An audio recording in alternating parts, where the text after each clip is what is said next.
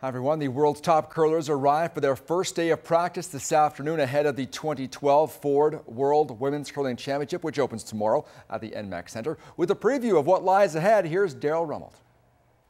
First on the practice sheet on Friday were perhaps those countries who feel they have the most to prove. After failing to qualify for the Worlds for the past two years, Diana Gaspari's foursome is back. Gaspari skipped for Italy at the 2006 Olympics, but the country has had little to cheer about in the years since. We want to start over again and try to qualify for the Olympics like a new road with a new team. Uh, so let's see what we are able to do.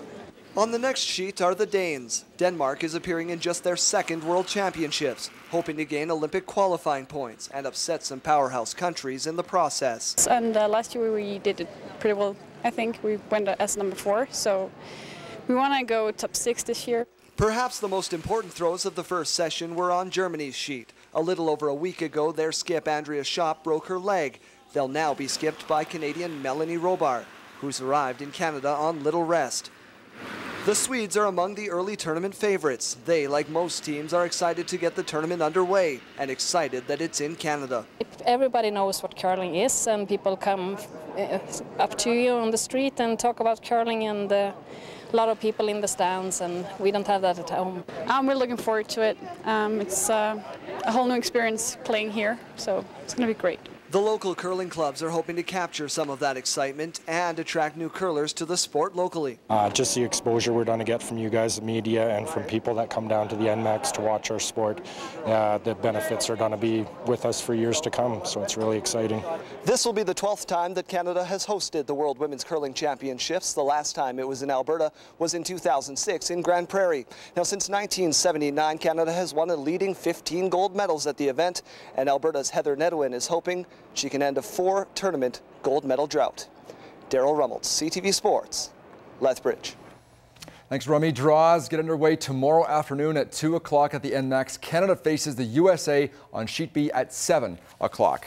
Now, the nation's best uh, college basketball teams are in town for the CCAA Women's National Basketball Championships at Lethbridge College. Let's see how the hosts did in their opening round matchup last night. The number two seed Dawson College Blues taking on the Lethbridge Kodiaks and head coach Avery Harrison's ninth trip to nationals, hoping for an upset in game number one. A rough start for the Kodiaks. The Blues go on an eight-point run to start the game, but Lisa Ivanix gets the Kodiaks on the board, drive the lane, gets the screen and is in for the easy lay-in. The big story on this night for Lethbridge, missed opportunities. The Kodiak shot under 40% in the first half, under 50% for the entire game. Add to that turnovers like this, compounding their problems. Lindsay Pearson stripped by Rochelle Gregoire. She's all alone. That's an easy two points. Blues extend their lead to 11. Moments later, Pearson made up for that. She beat two defenders, caught another two looking at her and hit the layup.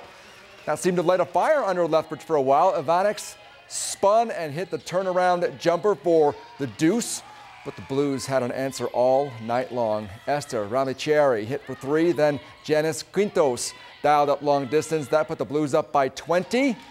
The Dawson College Blues pull away, never looking back. They cruise to an easy 84-64 win over the Kodiaks.